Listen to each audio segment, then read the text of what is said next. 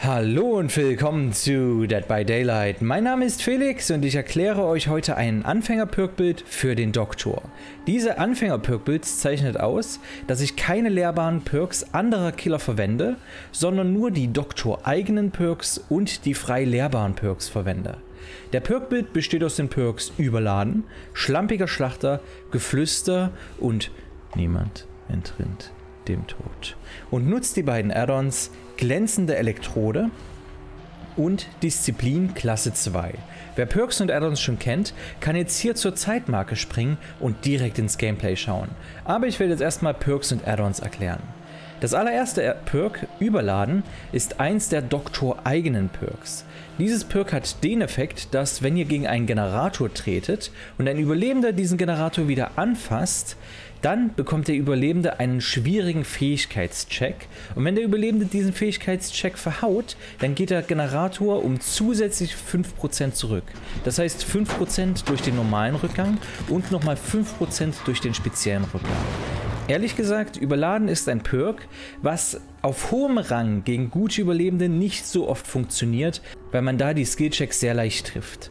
Im niedrigen Rangbereich allerdings haben alle so ein bisschen Probleme mit Skillchecks, darum ist Überladen da besonders stark und daher auch besonders empfehlenswert für euch als Doktor. Das zweite Perk ist das freilehrbare Perk Schlampiger Schlachter. Das Perk hat den Effekt, dass wenn ihr einen Überlebenden mit einem Grundangriff trefft, ihr die beiden Statuseffekte Zerfleischt und Blutung bei dem Überlebenden auslöst. Zerfleischt sorgt dafür, dass Überlebende länger brauchen, um sich zu heilen oder geheilt zu werden. Und Blutung sorgt dafür, dass Überlebende mehr Blutspuren hinterlassen, was euch vielleicht hilft, die Überlebenden besser aufzuspüren. Uns interessiert besonders der Statuseffekt Zerfleischt, denn damit verlangsamt ihr die Überlebenden. Sie brauchen länger, um sich zu heilen. Und wenn, ihr sie, wenn sie sich nicht heilen wollen, könnt ihr sie leicht mit eurem statischen Blast aufspüren. Das dritte Perk ist das freilehrbare Perk Geflüster. Dieses Perk hat den Effekt, dass ihr im Grunde einen 32 Meter Radius um euch herum habt und wenn Überlebende in diesen Radius reinkommen, dann leuchtet das Perk auf und es gibt so Flüstergeräusche. Das heißt, ihr könnt von Generator zu Generator gehen und merkt direkt, okay, das Perk leuchtet auf, das Perk leuchtet nicht auf und wenn es aufleuchtet, könnt ihr euer statisches Feld aktivieren und so direkt die exakte Position der Überlebenden bestimmen. Das heißt, ihr könnt Überlebende aufspüren, die sich verstecken und verschwendet niemals euer statisches Feld, was ziemlich gut ist. Als letztes habe ich mich für das Perk Fluch Niemand entrinnt dem Tod entschieden. Das Perk hat den Effekt, dass wenn alle Generatoren repariert wurden oder die Falltür geschlossen wurde, dann wird ein zufälliges, nicht leuchtendes Totem zu einem leuchtenden Totem. Solange dieses Totem steht, könnt ihr Überlebende mit einem Schlag umhauen und ihr bewegt euch um 4% schneller fort. Das ist ein super mächtiges Perk, was mit Geflüster und mit eurem statischen Feld super gut synergiert. Denn Geflüster leuchtet, ihr aktiviert euer statisches Feld, findet Überlebende und haut sie mit einem Schlag um. Das einzige Problem ist, dass niemand in dem Tod erst am Ende triggert. Das heißt, ihr habt die ganze Runde lang nur drei Perks und am Ende erst ein viertes Perk. Ihr könnt alternativ hierzu auch Perks wie Spionen des Schattens, verbittertes Gemurmel oder Pirscher mitnehmen, die euch das ganze Spiel lang helfen und nicht erst am Ende. Ich dachte mir aber, Knowit ist so gut, gerade auf dem Doktor mit dem Aufspüren und Geflüster, dass ich es einfach mitnehmen wollte. Also super mächtig. Ähm, ich habe mich außerdem für die beiden Add-ons glänzende Elektrode erstmal entschieden. Das hat einfach den Effekt, dass die Reichweite eurer Schocktherapie vergrößert wird. Damit könnt ihr einfach Überlebende besser treffen und an mehr Loops eure Schocktherapie einsetzen, um die Überlebenden so besser zu stunnen. Als zweites Addon äh, das Disziplin Klasse 2 Addon. Das hat den Effekt, dass die Zündungsverzögerung eurer Schocktherapie verzögert, äh, verkürzt ist. Das heißt, ihr schockt und euer Schock trifft die Überlebenden ein bisschen schneller und ihr könnt sie so ein bisschen schneller stunnen und müsst nicht unbedingt immer ewig warten, bis der Stun auch die Überlebenden erreicht. Ihr könnt also mit diesen beiden Addons viel häufiger eure Schocktherapie gut einsetzen und das erleichtert das Ganze ein bisschen. Das Disziplin Stufe 2, äh, Klasse 2 Addon hat außerdem einen Nebeneffekt, nämlich dass Überlebende, während sie in der Jagd sind in, und in Wahnsinn 2 sind, einen roten Fleck hinter sich haben und den Terrorradius hören und in Stufe 3 ist das Ganze dauerhaft. Allerdings interessieren die Nebeneffekte uns hier weniger, es geht hier vielmehr um die Zündungsverzögerung der Schocktherapie, daher ist dieses Addon besonders interessant für uns. Ich habe übrigens eine Add-on-Liste mit allen Add-ons des Doktors erstellt. Ähm, schaut dafür einfach mal in die Videobeschreibung, da findet ihr einen Link zu dieser Übersicht. Ähm, da habe ich alle Add-ons aufgelistet und so bekommt ihr vielleicht auch nochmal einen ganz guten Eindruck, was der Doktor alles hat und was ihr vielleicht alles gut kombinieren könnt. Aber ich würde sagen, wie wir uns mit diesem Perk-Bild und diesen Add-ons schlagen, das sehen wir jetzt in der Runde. Ja, und da sind wir auch schon in der Runde auf dem Heiligtum des Zorns. Mit dem guten Doktor. Mal sehen, wie wir uns schlagen werden. Das ist, glaube ich, eine relativ große Map. Ich werde alle, als allererstes auf Geflüster schauen. Sobald das nämlich angeht, werde ich mein statisches Feld aktivieren. So, wir gehen jetzt hier hinten in die Ecke. Geflüster ist an. Da ist hier auf jeden Fall jemand. Drei Leute. Okay. Die laufen alle drei nach hier unten. Hallo Claudette. Oh, die hat einen Schlüssel in der Hand. Zack, so um, wunderbar. Damit haben wir sozusagen die Abkühlzeit, die wir darauf hätten, dass wir unsere Fla äh, Waffe abschütteln. Haben wir jetzt damit sozusagen wettgemacht. Ach, und hier ist die Claudette. Hallo! Habe ich dich? Hier trete ich nicht gegen, denn ich sehe hier im Busch, habe ich ein Medikit gesehen von der Kate. Hier trete ich jetzt gegen, pack damit überladen drauf. Das heißt, die Leute müssen erstmal den Skillcheck treffen. Auf hohem Rang ist das ein bisschen, äh, bisschen äh, ist das Perk nicht so gut, weil die Überleben da weniger Probleme mit solchen Skillchecks haben.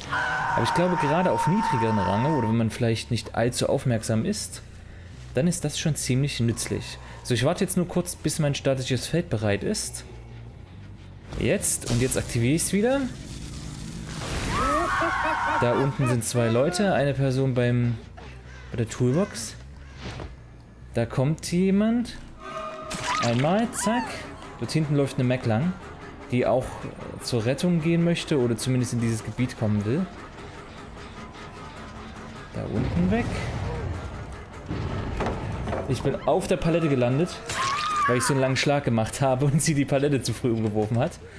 Schöne Sache. Die andere Claudette wurde gerettet. Du kommst hier hinten an den Haken. In dem Gebiet hier hinten war hoffentlich noch niemand so wirklich. Da müssen sie zumindest erstmal einen großen Umweg gehen.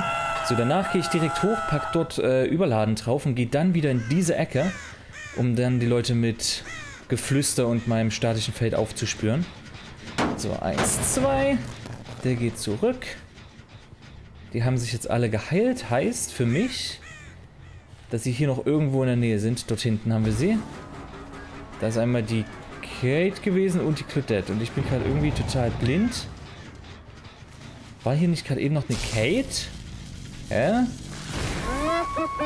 Die, die ist irgendwie über alle Berge schon wieder, ne? Hallo Kate. Sie ist schön wahnsinnig. Und sie ist nach hinten wieder zurück. Und wieder durch. Die andere Claudette wurde gerettet und auch schon geheilt. Schnelle Überlebende. Ich nutze meinen Schock, würde ich sagen, aber sie kam schon durch. Erster Hit. Okay, dort oben wurde der Überladen-Skillcheck verhauen. Dadurch hat es dort gekracht, denke ich mal. So. Und gut, habe ich dich. An dem Generator wurde gearbeitet. Da die Kate hier direkt in einer Palette liegt, genau, jage ich lieber diese Claudette erstmal weg und gebe ihr einen Hit. Ah, wobei, vielleicht kriegt man die auch sogar so. Hallöchen, hat er Nehmen? Nein? Wunderbar. So, gut, dann nehmen wir die direkt mit. Wir haben zwei Leute, die jetzt liegen, ne? Jetzt muss irgendjemand anders loskommen, die Kate aufheilen, dann vielleicht Claudette retten. Das kostet die Überlebenden alles Zeit. Zack, du hängst. Dann werde ich meinen Super Schock hier aktivieren. Kate wurde schon gerettet. Dort seid ihr. Okay. Eins, zwei. Zack. Und du wurdest... Warum? Mit Seelenwächter wahrscheinlich hat wahrscheinlich Seelenwächter, wurde vom Boden aufgeheilt und daher hatte sie, wie viele Sekunden sind das? Vier Sekunden, in denen sie sozusagen Schläge einfach wegstecken kann. So, der Schock ging drauf. Dank des verlängerten Ra äh, Radiuses. Okay, hart im Nehmen hatte sie vorher noch nicht gezündet. Zack. Hab ich dich. Okay, sie haben Claudette gerettet und auch schon wieder voll gehalten. Ne? Die sind so schnell mit ihren Heilungen. Okay. Du kommst mit. Hier an den Haken, dann gehe ich direkt wieder in die Mitte und pack dort überall Überladen drauf. Überladen und schlampiger Schlachter. Das sind gerade so meine einzigen Perks, um irgendwie die Generatoren äh, zurückzuhalten, beziehungsweise die Überlebenden zu beschäftigen. Der Gen ist sehr, sehr weit. Hier wurde dran gearbeitet. Ich werde mein Schockfeld jetzt schon aktivieren, um rettende Überlebende aufzuspüren.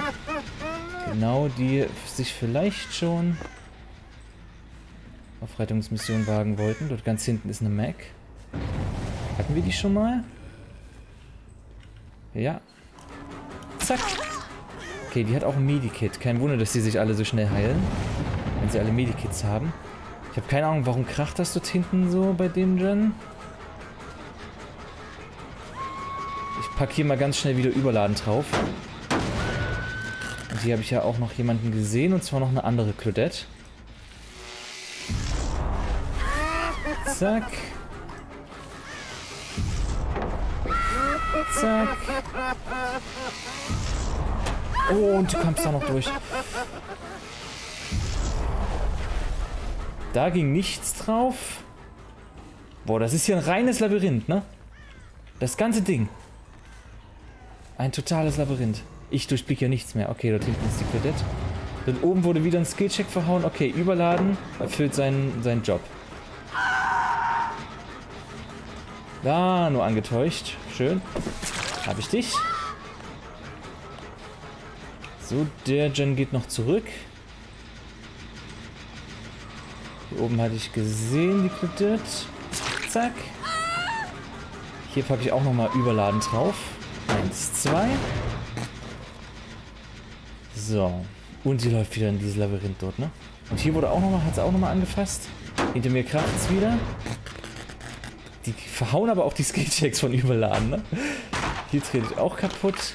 Ich wollte eigentlich die Claudette dort unten weiterjagen. Allerdings hat der Gen hier gerade so ein bisschen Prio. Geflüster ist an, das heißt, ich kann in Ruhe mein Zeug aktivieren. Ja, macht die Leute damit wahnsinnig. Seht hier wieder einen Skillcheck verhauen. Der Generator ist dank Überladen schon ziemlich gut zurück. Da habe ich irgendwie die, die Länge des Steins unterschätzt, sage ich mal. Oh, der ging nicht mehr. Da kam sie noch drüber. Da war mein Schock nicht schnell genug. Den dort oben, oben haben sie geschafft. Den nächsten auch. Ah, meine Schocks kommen ein bisschen zu spät durch, merke ich. Zack. Zwei Gens haben sie schon. Okay, komm mit hier in den Haken. Dann trete ich gegen den Generator. Zack. Und zum zweiten Mal. Ich glaube, ich müsste versuchen, die Claudette zu finden, die den Schlüssel hatte, die jetzt gerade geheilt wurde. Denn die ist, glaube ich, tot, wenn ich sie nochmal erwische. So, ich gehe jetzt ein ganzes Stück von der weg. Hier haben wir Kate. Zack.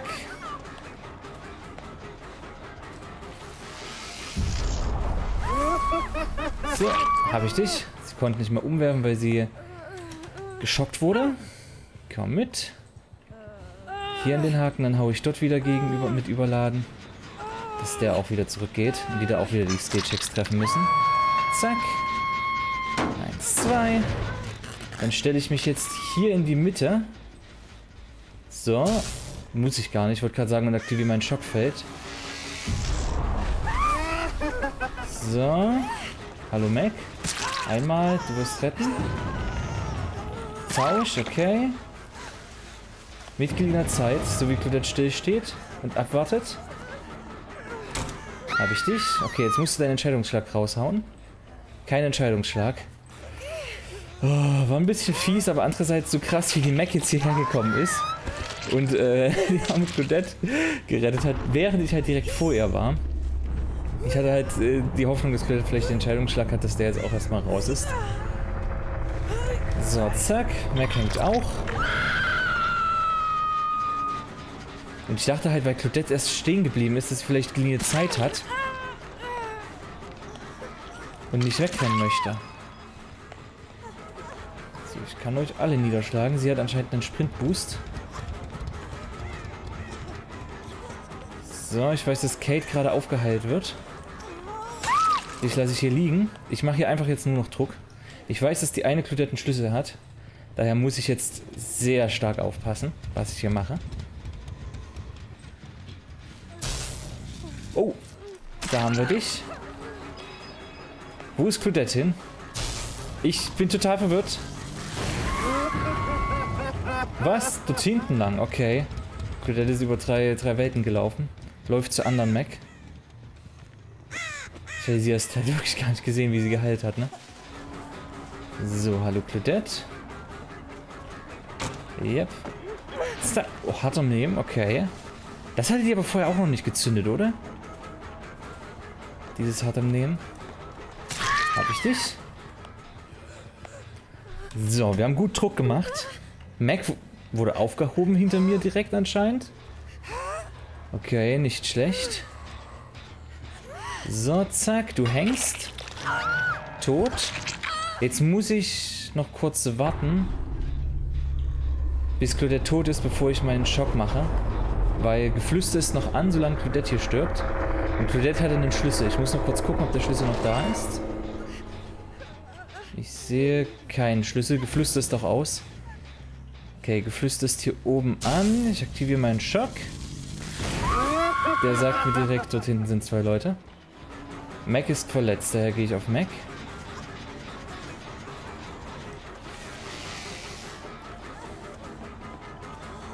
So, Hallöchen. Hattest du hart im Nehmen? Nein, hattest du nicht. Ich weiß nicht, wo Kate ist. Ich denke aber nicht nah genug. Ich weiß auch nicht, ob Mac tot ist, wenn sie jetzt hängt oder nicht. Ich glaube, Mac ist noch nicht tot, wenn sie hängt, oder? Zack. Dann zum zweiten Mal. Okay, meine Befürchtung ist jetzt so ein bisschen... Das ist so böse, dass man hier so auf der Palette mit einem langen Schlag landen kann. Hier unten ist Geflüster an. Die Mac hat sich sterben lassen. Hier liegt ein Medikit, heißt, die Claudette hatte tatsächlich den Schlüssel. Und Kate hat den schon aufgesammelt. Geflüster ist an. Geflüster ist an. Ich aktiviere mein statisches Feld. Das war total in Sand gesetzt. Hier oben muss irgendwo die Kate sein. Oder ist sie hier unten? Ich habe Noad. Okay, Geflüster war gerade eben noch an. Also ich weiß, dass Kate den Schlüssel hat, denn sie hat ihr Medikit dort liegen lassen. Ich muss trotzdem kurz die Tore abchecken. So, hier unten. Kein Geflüster an. Wahrscheinlich bei der Falltür. Nein. Okay, sobald Geflüster äh, angeht, mache ich meinen Superschock. Okay, ich stehe gerade ein bisschen unter Strom, gerade wegen dem Schlüssel. Geflüster ist an. Mein Superschock ist aber nicht bereit. Rennspuren. Weg vom Tor. Oh, mein Doktor hat sie verraten. Und Norbert. Zack. Norbert ist wirklich nur so fürs Ende gewesen. Aber zum Glück hatte ich es dabei. Gut, ich weiß nicht, ob sie überhaupt zur, zur Fährte gefunden äh, hätte. Ob sie da rechtzeitig da gewesen wäre. Aber sicher ist sicher, ne? So, und damit haben wir auch die letzte uns geholt. Alle Überlebende sind tot. Schöne Sache. Ich glaube, Geflüster war ziemlich cool. Dadurch konnte ich immer genau wissen, wann muss ich meine Schocktherapie nutzen. Was halt ziemlich cool ist, um Leute direkt aufzuspüren. Ne? Ansonsten Überladen hat, war, denke ich, nicht schlecht diese Runde. Also auch schlampiger Schlachter, ne, um Leute aufzuhalten. Gut to know it kam es jetzt, sind wir ehrlich, nicht wirklich. Trotzdem hat es, denke ich, seinen Zweck erfüllt. So, wir hatten zwölf Haken geschafft. Zumindest laut Archiv, aber keine Ahnung. Okay, Double Pip, wunderbar. So, und das waren meine Überlebenden. Tatsache hier ein Schlüssel, der sogar geblieben wäre, ne? Ne, verliere im Fall deines Todes nicht den Schlüssel, sondern lieber diesen Zusatz. Das heißt, der Schlüssel war, denke ich, weg. Sogar mit Schutzabwehr. Na gut. Zum Glück haben wir das auch alles aufhalten können. Na gut, ich hoffe, euch hat das Video gefallen. Lasst Fragen, Kritik und Anregungen in den Kommentaren und dann hören wir uns beim nächsten Mal. Bis dahin, tschüss!